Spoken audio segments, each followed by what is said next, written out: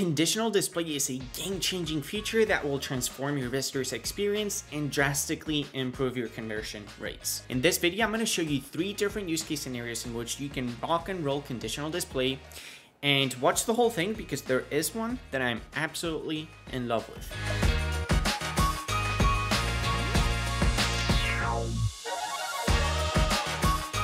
Hi, I'm Tony Lewis with Thrive Themes, and before we get started, I just need to make sure that you're hitting the like button and that you do indeed subscribe to our awesome YouTube channel. Only good things can come out of these two actions, so act wisely. Use case number one is special pricing. At some point, you're going to want to reward some of your most loyal customers by offering them one of your newest products at a special discount. With conditional display, we can most certainly do this. You can create a default pricing table that has a regular standard pricing for your products, and we can track whether the current visitor has already purchased any of your previous products. If so, instead of showing them the default pricing table, we're going to show them one that has a discount price tag on it. This is a very simple way of not only increasing conversion rates from existing customers, but it's also a really cool way of making them feel special too. I kind of really like this one. Let's move on to scenario number two, which is a pretty cool one as well. Time constrained content.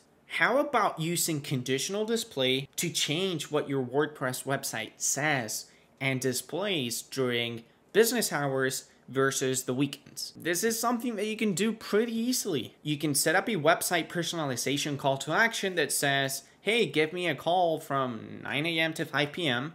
and a conditional display view that says, hey, we're actually not working right now at the moment. Leave us a message with a contact form or something outside of those working hours. And you can actually apply this principle to your sales funnels as well. For example, you could potentially have a pricing table with a reduced pricing tag on your product during Christmas Eve or you could have special pricing during the slowest days of your weeks. I mean, the possibilities here in terms of using time to boost your conversions are pretty much endless. I mean, there's a lot of really cool ways in which you can use conditional display to try to incentivize people to convert. And scenario number three, my favorite one, members only access. Here's the thing. I love building out membership sites. They're such a great way of building out a passive and growing business. And with conditional display, we can have some of our content sit behind a paywall that only paying members can access. Let me just give you an example here real quick. We could create a blog post and type out a couple of paragraphs inside our default display content box that all readers can enjoy.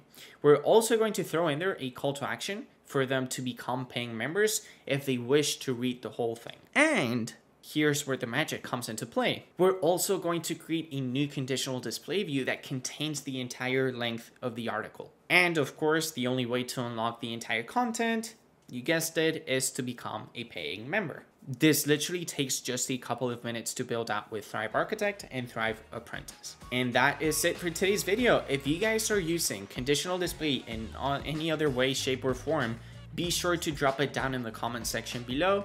Uh, I'm sure I can learn from you guys and other people can learn from you guys as well. And hold on, before you leave, there is a link to grab a license to Thrive Suite down in the description box below. This will give you access to Thrive Architect and Thrive Apprentice, amongst many other awesome tools that you need to build a profitable online business. Just be sure to check it out. I'm Tony Lewis with Thrive Themes, and I will see you guys in the next video.